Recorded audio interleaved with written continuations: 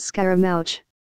A personage in the old Italian comedy, derived from Spain, characterized by great boastfulness and poltroonery, hence, a person off like characteristics, a buffoon.